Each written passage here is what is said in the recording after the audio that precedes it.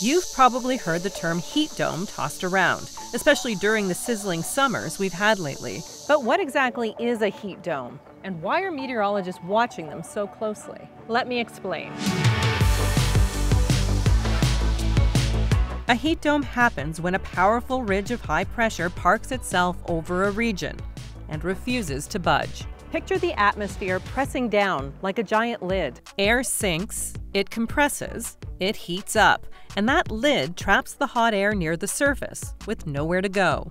The result? Temperatures that climb day after day with little relief, even at night. Think of it like this put a pot of water on the stove. Now, slap a lid on it.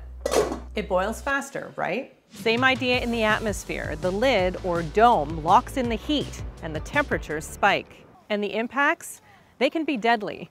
In fact, heat is the deadliest of all weather conditions in Canada. Canada's most tragic example? The 2021 Western Canada Heat Dome.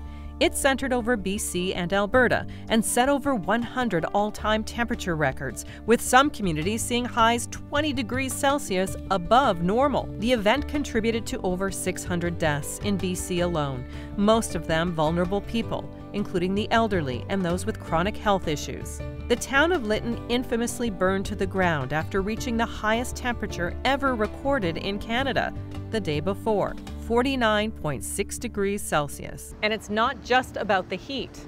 Heat domes can dry out landscapes, which can increase wildfire risk, strain the power grid as demand for AC surges, trap wildfire smoke and pollutants near the surface, making air quality worse. So, why are heat domes getting more attention?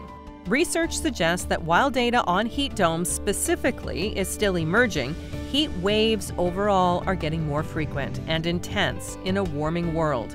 Heat domes are one of the players in that trend. Dangerous heat is not just a southern U.S. problem, and Canadians should be prepared.